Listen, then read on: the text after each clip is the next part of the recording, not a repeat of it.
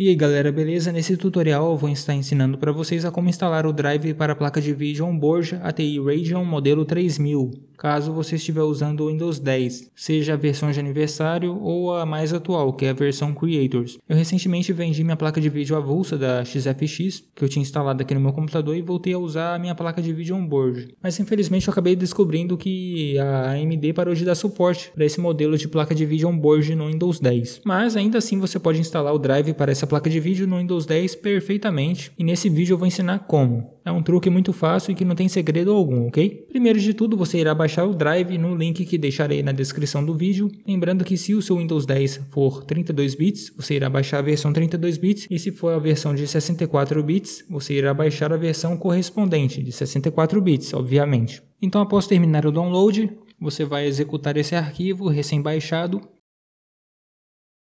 vai esperar carregar. Daí que é o seguinte, você vai escolher uma pasta para extrair os arquivos executáveis do driver e vai clicar em install. Geralmente a pasta padrão é a pasta AMD no seu disco local, mas você pode escolher a pasta que você quiser aqui. Daí escolhendo a pasta desejada, você clica em install, como eu falei, e aguarda o processo de descompactação terminar.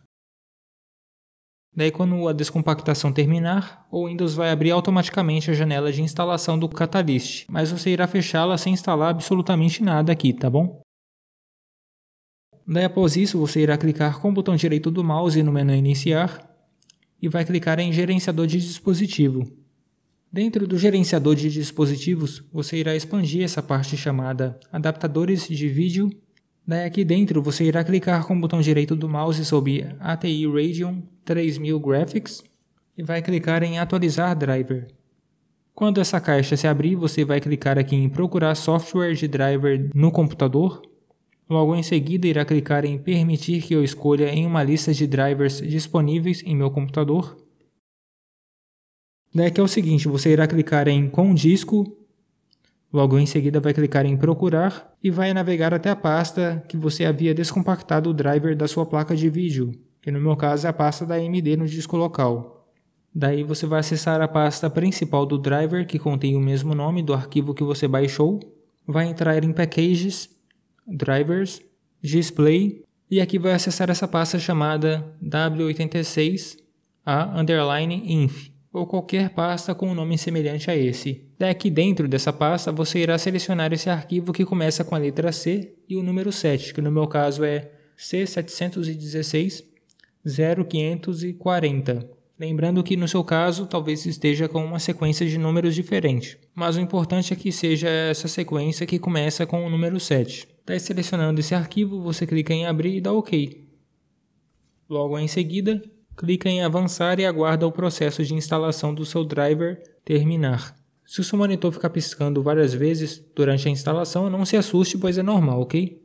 Depois de um tempo, volta ao normal. Depois da instalação do driver terminar, você basicamente já fez tudo o que tinha que fazer e já pode começar a usar o seu Windows 10 tranquilamente. Agora, caso você quiser instalar o Catalyst Control Center no seu Windows 10, você navega até a pasta do driver novamente e executa o arquivo setup dentro dele.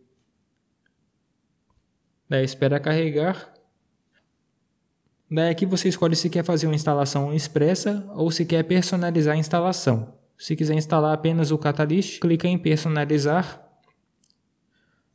Daí você aguarda o sistema detectar as configurações do seu PC e aqui na lista você só marca essa última opção chamada AMD Vision Engine Control Center. O resto você deixa desmarcado, incluindo o driver de vídeo da AMD, pois você já instalou ele previamente, né? então não precisa instalar de novo. Daí você clica em avançar e aguarda o Catalyst ser instalado. Porém, eu particularmente não recomendo instalar o Catalyst, pois no meu caso, de vez em quando aparecia uma janelinha de erro do host do Catalyst. Era algo raro, mas para evitar que apareça e fique enchendo seu saco, eu recomendo não instalar o Catalyst no Windows 10. No meu caso, eu não instalei, pois eu não uso ele para nada. Só instala se você for usar, mexer nas configurações dele e assim por diante. Mas instalando o driver da sua placa de vídeo já é o suficiente para fazer ela funcionar perfeitamente sem lentidão no seu Windows 10. Beleza, galera? Espero ter ajudado vocês. Se ajudei, deixa um like, compartilhe o vídeo com seus amigos e se inscreva no canal. Beleza? Forte abraço.